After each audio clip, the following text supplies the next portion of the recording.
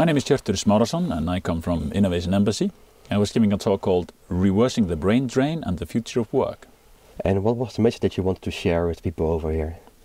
Well, what I wanted to talk about is how uh, the way we work is changing.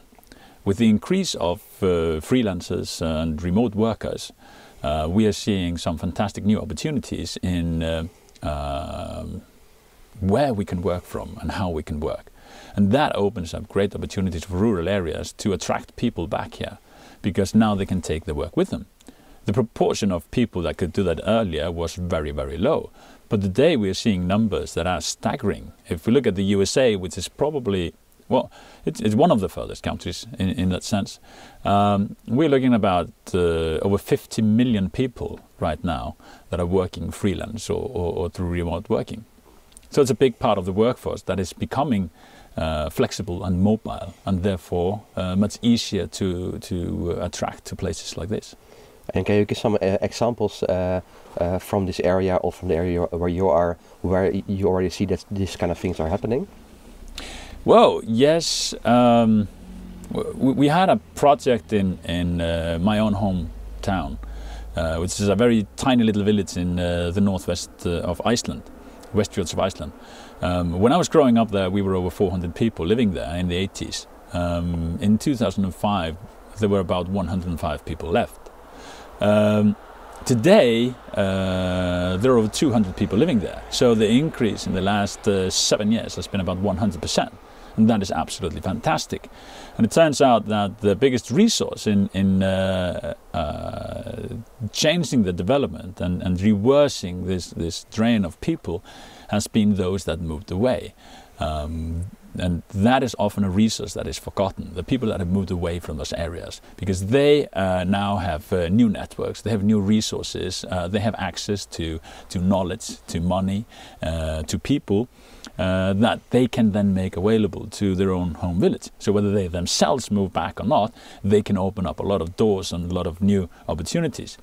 Um, so what I want to do here with Vuollerim and Norrbotten is to build up a project where we try to do that very strategically and we try to connect uh, um, the people of Norrbotten and the entrepreneurs in Norrbotten with uh, those that, that have some relations to, to Norrbotten and, and that way build up a, a bigger network and attract more people back here and open up fantastic opportunities for, for things to happen and, and for the locals to create new things. And you brought quite some knowledge uh, to uh, to this place, but you also learned a lot uh, the, the, last two days. This has been a great inspiration. Um, both uh, we've had some fantastic speakers from all over the world, um, from as far as Singapore and and uh, uh, over Europe and, and elsewhere. Um, so it has been a true inspiration. But I think one of the biggest inspiration has been the town in itself.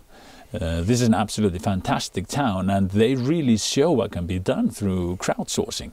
Uh, the way they have handled the situation and their crisis that they've been going through, downcuts and downsizing, is, is uh, very, very impressive. And I see Vuollerim as a role model for other towns in, in exploring how things can be done, how we can use crowdsourcing and, and the new way of thinking to really change things and, and reverse them.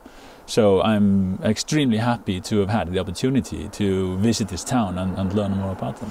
And what do you think is the core of this crowdfunding success over here in Vuollerim? Well, they have some sense of spirit, and I think uh, uh, it's probably a mixture of uh, several different things. Um, but uh, the most important part is, is uh, they believe they actually can change things. So they do. And uh, that just brings us back to the saying uh, whether you believe you can or you can't, you're usually right. And they believe they can, and they do. And that is absolutely fantastic. I love seeing that.